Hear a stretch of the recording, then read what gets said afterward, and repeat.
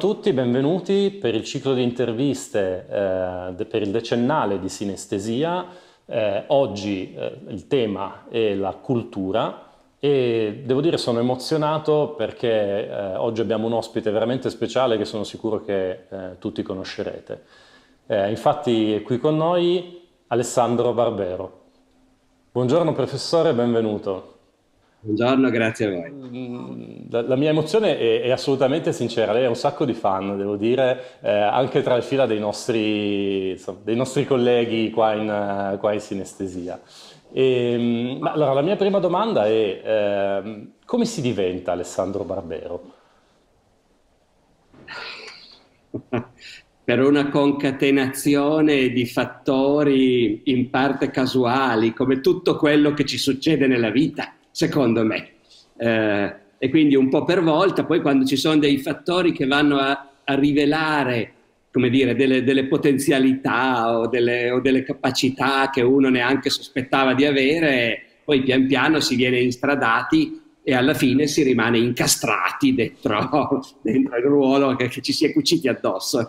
Io ero un ragazzino timidissimo, e poi mi sono avviato a una carriera di studioso e, ho fatto lo studioso, poi per carità ho scritto, però a me è anche capitato di scrivere un romanzo 25 anni fa, ormai quasi in un'altra vita, di vincere un grande premio, e di diventare famoso e, di restare famoso per poche ore come succede o per pochi giorni come succede in quei casi e poi di ridiventare una, uno studioso completamente sconosciuto al grande pubblico quindi insomma non, non, era, non era, predestinazione evidentemente e, e, durante tutta gran parte della mia vita appunto mh, non mi è mai venuto in mente che che una delle mie capacità dovesse essere quella appunto di parlare in pubblico, di raccontare la storia, di fare delle lezioni di storia che sarebbero piaciute al grande pubblico.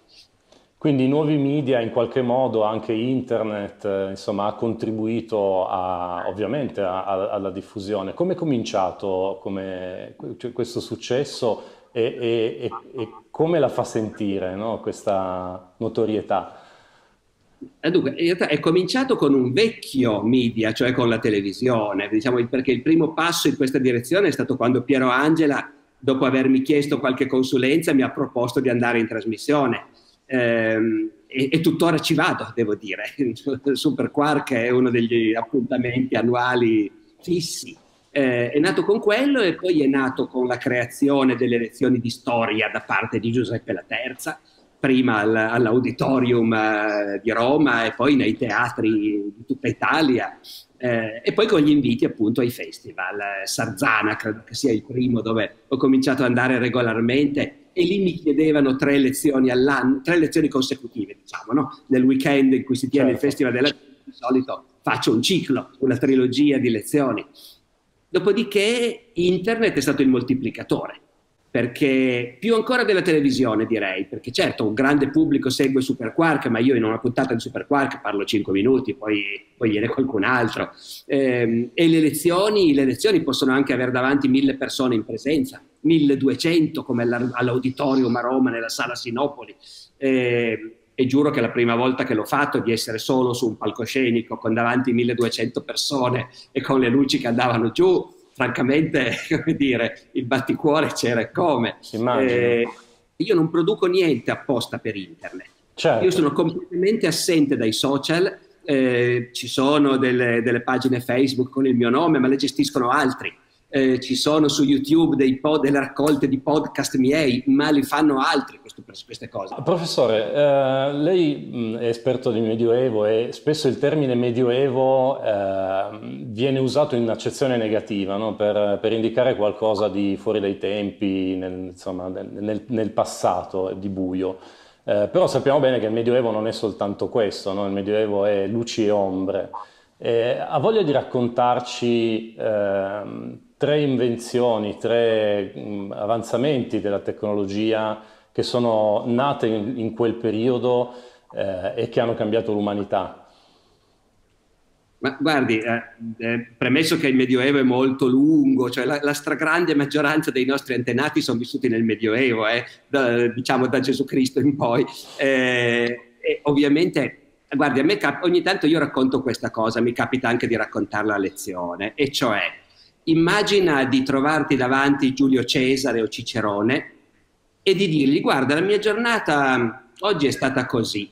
Beh, beh, mi sono svegliato, mi sono vestito, ho abbottonato i pantaloni, ho abbottonato la camicia, mi sono messo gli occhiali, ehm, ho sfogliato un libro per un po', poi avevo degli impegni, sono uscito, sono andato a lezione all'università, sono andato da un notaio per un contratto, sono andato in comune, avevo una pratica anche in comune, eh, poi supponiamo di essere una persona che riesce a fare tante cose, sono anche un credente, sono andato a messa, ho fatto due chiacchiere col parroco, poi sono tornato a casa, sono fatto una pasta asciutta, ci ho grattugiato un po' di parmigiano sopra.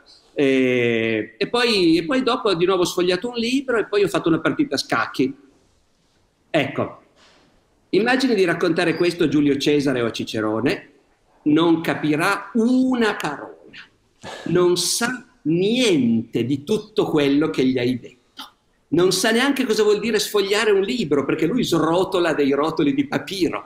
Eh, non ha idea di cosa siano gli occhiali, di cosa siano gli scacchi, di cosa vuol dire andare a lezione all'università, andare dal notaio. Eh, non ha idea di niente di tutto questo. Racconti tutto questo a un fiorentino del tempo di Dante Alighieri, capisce perfettamente tutto, compreso grattugiare il parmigiano sulla pasta asciutta. Quindi in realtà... Ed è appunto, sempre medioevo, diciamo, comunque come... È sempre medioevo. Poi ovviamente non sanno nel medioevo, non sanno cosa vuol dire farsi un caffè o cosa vuol dire accendere il computer, ovviamente. Beh, ecco. certo. però, però, sanno, come dire, sanno cosa significa fare un assegno, fare un'assicurazione. Lei mi parlava di innovazioni tecnologiche, no? È tecnologia anche quella. Da un punto di vista dell'hardware c'è meno indubbiamente, forse gli occhiali sono la cosa, la cosa più vistosa effettivamente, nonché, ripeto, il libro, il libro con le sue pagine da sfogliare, che nasce tra la fine dell'antichità e l'inizio del Medioevo e che anche quello è un salto di qualità tecnologico enorme, visto che il libro di carta è tuttora la tecnologia più efficace che noi abbiamo per conservare informazioni e testi. Quindi nel Medioevo sono nate moltissime delle, delle tecnologie, ma non solo, insomma, di tutte le, le cose che poi hanno eh, plasmato eh, fino ad oggi e plasmano tuttora eh, il mondo, sì, dei, nostri, dei, nostri, modi di vita, dei nostri modi di certo. vita moderni. Nati tutti i paesi delle nostre campagne, in qualunque paesino italiano, eh, uno va a vedere, vabbè, quando nasce, quando è che abbiamo per la prima volta dei documenti? Esisteva questo paesino nell'antichità? Nemmeno per idea eh, ma nel Medioevo esisteva e di solito in qualche archivio ci sono dei documenti che raccontano di chi viveva in quel paesino, non dico nell'anno 1000, ma nel 1200, nel 1300, sì, naturalmente. Certo. Quindi è nato il paesaggio, sono nati i centri storici delle nostre città, eh, sono nate le nazioni e le lingue che parliamo. Nell'antichità non c'erano mica gli inglesi, i tedeschi, i francesi, eh, ma, ma, nel Medioevo sì che c'erano. Come?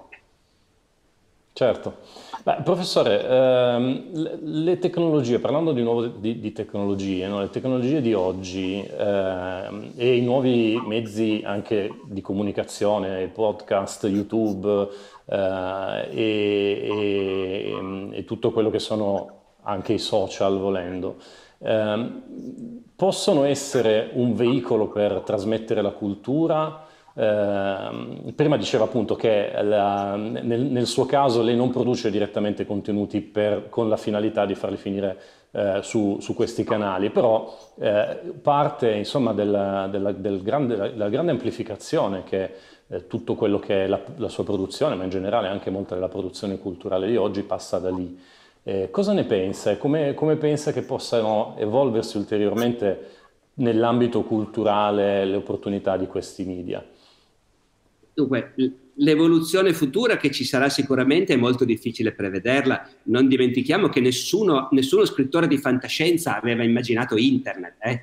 Eh, gli scrittori di fantascienza di 50 anni fa credevano che nel 2000 saremmo andati tutti in giro con automobili volanti e che avremmo passato il weekend su Marte eh, e che avremmo mangiato cibo in pillole. quanto invece a internet, assolutamente nessuno aveva concepito una cosa del genere. Quello che posso dire e che attualmente nel campo della produzione culturale e della, della comunicazione della cultura a me sembra che internet sia ancora in una fase in cui è più efficace appunto come immenso magazzino dove andare a trovare cose che non sono nate per internet. Voglio dire, nella mia esperienza personale, ma credo di poter dire che in generale, quando si tratta di contenuti culturali, la meraviglia di internet è che tu ritrovi in un istante qualunque canzone che vuoi sentire o qualunque brano musicale. Ti interessa un certo quartetto di Haydn, lo trovi all'istante in dieci esecuzioni diverse vuoi rivedere un vecchio film degli anni 30, lo trovi. Vuoi leggere un libro, vuoi cerchi un manoscritto medievale della Bibliothèque Nationale di Parigi, lo trovi. Cerchi una cinquecentina o anche un saggio, un articolo, una rivista che ti serve per la tua ricerca. In molti casi lo trovi e sempre più spesso troverai tutto lì. In questo senso internet, appunto, ripeto, è anche in questo un grandioso moltiplicatore e potenziatore di contenuti non nati per internet. Là dove andiamo a vedere le cose specifiche di internet, io non ho in realtà competenza per parlarne perché appunto sono fuori, sto fuori, sto fuori dai social, ehm, però mi sembra di poter dire da quel poco che ne capisco che lì non c'è ancora, non c'è stata ancora la creazione di forme culturali, di contenuti culturali proprio tipici di internet. YouTube è grandioso perché ti mette a disposizione le cose prodotte al di fuori. Poi invece, francamente, andare a vedere il filmino del compleanno della bambina o del gattino che, che fa le fusa non è proprio allo stesso livello del dire vado a rivedermi un film di Eisenstein, no? Ecco, quindi certo. a costo di spudoratamente snob, ma se parliamo di cultura non mi sembra che, che neanche appunto i, i, vari social eh, ne producano allo stesso livello con cui invece la rete in generale conserva e ripropone ciò che è stato già prodotto prima. Ecco. C'è qualche, c'è qualche, canale, qualche creatore di contenuti che sta creando effettivamente, per esempio sì, su YouTube, ma anche sui podcast, no? sta cercando di creare una cultura eh, e di diffondere cultura anche attraverso questi, questi canali con dei contenuti, dei contenuti ad hoc. Però effettivamente concordo assolutamente sul fatto che siamo ancora probabilmente all'inizio di una, Uh, di una rivoluzione culturale sì, sì, volevo sottolineare tipo. che appunto in futuro certamente nasceranno nuove forme certo. d'arte, nuove cultura eh, integralmente, come dire, nate per Digitali. internet. Professore, lei prima diceva eh, nessuno ha previsto internet, nessuno ha previsto una rivoluzione come questa. Eh, e effettivamente abbiamo vissuto eh, un'accelerazione no? dalla nascita dei personal computer fino a eh, appunto arrivare alla connettività internet, alla diffusione del, de, della rete e de, oggi gli smartphone e, e gli altri dispositivi, dispositivi mobili. Eh, tutto ciò ha effettivamente impattato molto la nostra cultura eh, ed è una, un qualcosa di forse non mai visto. No? Secondo lei c'è stato nella storia un periodo in cui eh, l'umanità è passata attraverso dei cambiamenti come quelli che stiamo vivendo oggi o è una novità assoluta? Allora, dunque, io direi che l'umanità è sempre passata attraverso cambiamenti e ha sempre dimostrato una grandissima capacità di adattarsi ai cambiamenti. Eh, I cambiamenti ovviamente possono essere di tanti tipi, appunto, possono essere politici, sociali, economici. Noi adesso stiamo parlando invece di un grandioso cambiamento tecnologico. Eh, che ci mette a disposizione tecnologie appunto inimmaginabili fino a pochi anni fa, mh, lasciando più o meno uguale tutto il resto, peraltro. Mh, rapporti di potere nella società, gerarchie sociali, eh, tante cose rimangono, rimangono, quelle. Poi certo sì, c'è chi, fa, eh, chi costruisce nuove fortune sulla base delle nuove tecnologie, però non è che eh, l'esistenza di internet ha cambiato eh, come dire, il rapporto fra il disoccupato e il miliardario. Sì, semmai ha reso ancora più ricco il miliardario, d'accordo?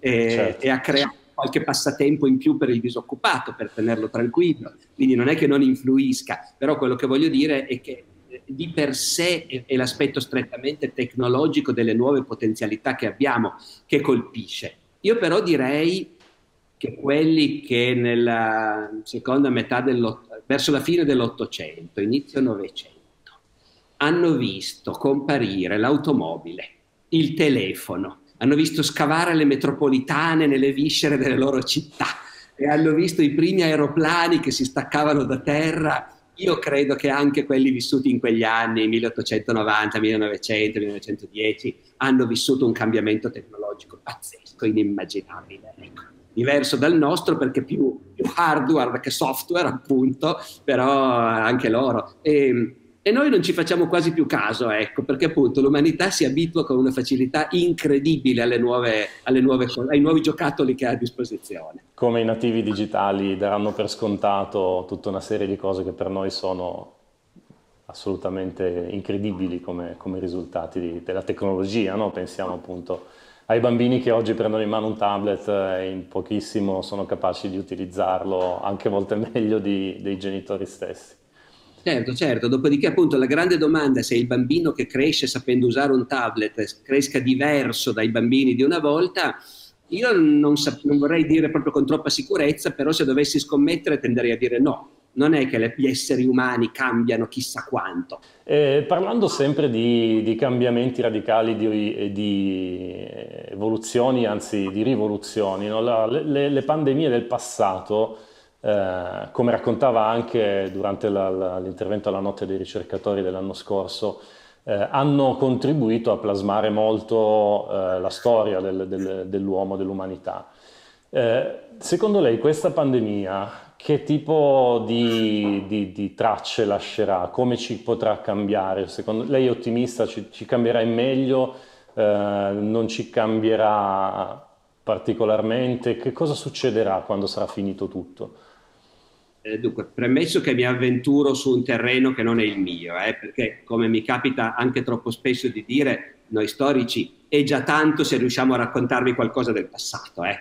Eh la, la, prima cosa che si impara è che tutti quelli che vogliono prevedere il futuro in generale non ci azzeccano. Ecco. Quindi, eh, no, detto questo, si possono intravedere delle direzioni. Eh, io dove si mescolano un po' la previsione e il desiderio, naturalmente io credo che potremmo essere molto felici se, come dire, il mondo uscisse dalla pandemia con qualche dubbio sull'ideologia unica che ha dominato gli ultimi, gli ultimi 40 anni, e cioè l'ideologia del privato, del profitto, eh, della rendicontazione, del pareggio di bilancio, del risparmio e così via eh, del risparmio sul welfare ben inteso e sugli investimenti pubblici, perché poi in altri certo. ambiti figuriamo. No, ecco. eh, se dovessimo uscire con qualche dubbio sul fatto che il, il pubblico conviene smantellarlo perché non serve a niente, eh, che nella sanità l'importante dal punto di vista dello Stato è risparmiare, che gli ospedali conviene chiuderli, che assumere medici o infermieri eh, o anche ricercatori, ben inteso, è meglio non farlo così si risparmia e si può presentare all'Europa il pareggio di bilancio. Se dovesse venire fuori una svolta in questa direzione, non voglio dire che c'è, insomma, potremmo essere contenti, ecco, ma però poi non ci dobbiamo muovere solo in una prospettiva italiana e forse a livello mondiale certo. che c'è una possibilità, diciamo, di un nuovo keynesismo, di un nuovo New Deal. Eh, non dico che il vecchio Joe Biden possa essere un nuovo Roosevelt, però insomma, ecco, un po' di spinta sul fatto che gli stati devono spendere, investire, assumere eh, e che si sta tutti meglio così, ecco, forse quella potrebbe essere, come dire, la svolta culturale che potrebbe portare con sé la pandemia. Professore, speriamo davvero che insomma, la, la, la, politica, la coscienza comune sia col, colpita in qualche modo eh, a, e, e spinta a investire sul lungo periodo, perché probabilmente anche quello che, che abbiamo visto no? è che eh, non si è mai guardato lontano no? nel tempo, no? si è sempre guardato a, al, al, all'interesse nel breve e, e, questo forse è quello che poi ci ha portati anche a, ad arrivare a una, a una, pandemia come quella che, che, abbiamo vissuto, che stiamo vivendo. Eh, la mancanza di lungimiranza politica, no? e, e di, di, capacità di, appunto, di investire, come diceva lei, su quello che poi è importante da costruire per, per il futuro, per costruire anche il futuro. Eh, direi Bene. di sì, non, non replico perché siamo d'accordo su questo, vedo. Assolutamente, assolutamente.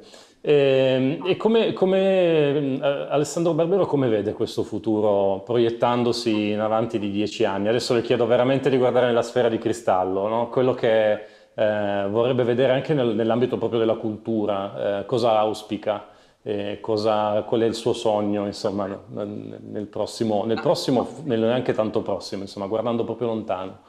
Eh, io rimango sempre molto diffidente e in attesa e non mi aspetto niente, Poi, quindi per carattere. A me è capitato di incontrare gli studenti dell'Università Statale di Milano in un grande auditorium strapieno nel febbraio dell'anno scorso, febbraio 2020, e di chiacchierare con loro sul fatto che la storia sembrava quasi essersi fermata a livello di, di, grandi avvenimenti, di quelli che rimangono poi nei manuali di storia, di quelli che rimangono legati a una data, ecco, mm, che, che, in fondo nella loro vita, mi rivolgeva dei ragazzi di vent'anni, nella loro vita avessero dovuto dire un grande avvenimento memorabile, non l'evoluzione storica sotterranea, che ovviamente non si ferma mai, ma un grande avvenimento memorabile, in fondo gli ho detto eh, cosa ci sarebbe? Boh, l'11 settembre 2001, poi dopo più niente apparentemente. Ecco, io dicevo questo ed è agli atti e su internet chiunque lo può ritrovare nel febbraio 2020.